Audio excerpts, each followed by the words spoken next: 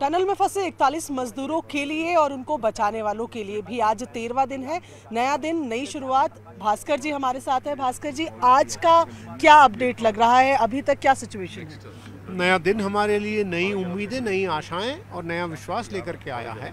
और अंदर जाकर के जो अभी मैंने पाया है कि हमारा काम बिल्कुल सुचारू रूप से चल रहा है और उम्मीद करते हैं कि आने वाले 12-14 घंटों में हम अपना काम कंप्लीट कर पाएँगे और मजदूरों को सकुशल उनके परिजनों के साथ मिलाने का काम कर देंगे। अ, सर जो रात तक जानकारी आ रही थी तो माना जा रहा था कि तकरीबन 48 मीटर तक हम अंदर पहुँचे हैं लेकिन अ, उसमें अभी कोई अ, मतलब उसमें क्या पाइप में कोई दिक्कत है जो डाला गया है? क्या भी मुँह में थोड़ी सी पिचकन आ गई थी तो उस हिस्से को हमको काट करके निकालना पड़ रहा है वो काम अभी चल रहा है। तो वो पाइप का जो पाइप डालने का सिलसिला तो कौन से मीटर से शुरू होगा?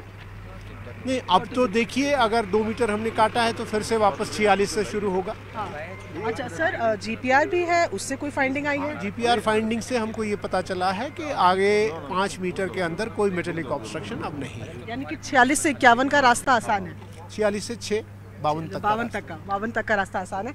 आखिरी सवाल सर मुझे मालूम है आप भी बहुत दिनों से यहाँ लगे और अभी आपको फिर से अंदर जाना है लेकिन हर रोज़ हम एक टाइम की उम्मीद मांग रहे हैं तो आज क्या लग रहा है? कितने बजे तक शाम छः बजे तक हमें अपना काम कंप्लीट करने की सहूलियत भगवान ने देनी चाहिए।